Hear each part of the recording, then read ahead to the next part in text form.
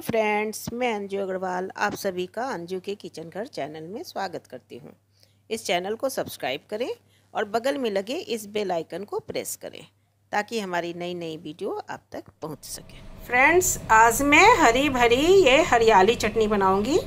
ये चटनी एक ही होगा, लेकिन इसमें तीन फ्लेवर का स्वाद आपको एक साथ आएगा। बहुत अच्छा टेस्टी लगेगा। आप इन तीनों चीज़ों को डालकर इसे बनाइएगा।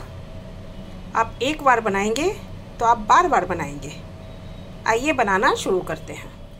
ग्रीन चटनी बनाने में मैं एक तरह के पत्ते का यूज़ नहीं करूँगी। ये धनिया पत्ता है, ये अजवाइन का पत्ता है। ये हमारे गार्डन में है। अगर आपके पास अजवाइन का पत्ता नहीं है तो कोई चिंता की बात नहीं है। आप बिल्कुल दो चुटकी आप अजवाइन जो हमारे किचन में रहता है, आप उसे डाल दीजिएगा तो इसका टेस्ट आ जाएगा। और ये पुदीना पत्ता, ये भी हमारे गार्डन का है। और ये हरा मिर्च और ये थोड़ा अदरक मैंने लिया है। इन सबको मिलाकर मैं चटनी बनाऊँगी। ये चटनी बहुत ही टेस्टी बनेगा। इसे मैं मिक्सी जार में डाल लेती हूँ। अब इसमें थोड़ा सफ़ेद नमक देंगे और थोड़ा काला नमक देंगे। नमक आप अपने टेस्ट के हिसाब से दे लीजिएगा।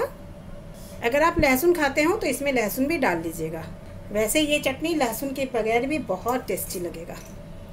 अब इसमें हम एक चम्मच दही डालेंगे। दही मैंने बिल्कुल गाढ़ा लिया है। लेकिन ज़रूरी नहीं है कि आप बिल्कुल गाढ़ा लीजिए, आपके पास जैसा दही है वैसा ले लीजिए और थोड़ा इसमें चीनी डाल लेंगे। से हमारा चटनी का रंग जो हमारा पत्ते का कलर हरा है, वैसा ही हरा रहेगा। अब इसे हम पीस लेते हैं। चटनी मैंने पीस लिया है। देखिए कितना सुंदर कलर आया है।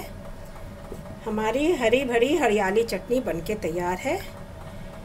ये खाने में बहुत ही टेस्टी होगा। अगर हमारे पास अजवाइन पत्ता नहीं होता है तो थोड़ा सा हमारे किचन में जो अजवाइन होता है, थोड़ा वो डाल देने से भी बिल्कुल इसका पता ही नहीं चलता कि मैंने पत्ता डाला है या वो अजवाइन डाला है। इसलिए आपके पास अजवाइन का पत्ता ना हो तो आप वो डाल दीजिएगा।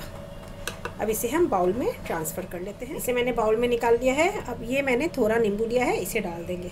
नींबू ज़्यादा नहीं डालेंगे, क्योंकि मैंने दही भी दिया है। खैर, दही तो हमारा ताज़ा था, वो तो खट्टा नहीं था।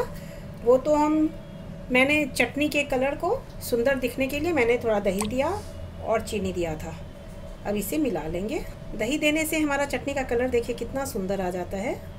ये चटनी हमारा सर्व करने के लिए तैयार है। आप भी इस तरह के चटनी को बनाइए और अपना कमेंट हमारे साथ शेयर कर दिए चलिए मिलते हैं अपनी अगली और भी नई नई अच्छी रेसिपी के साथ। तब तक के लिए बाय बाय थैंक यू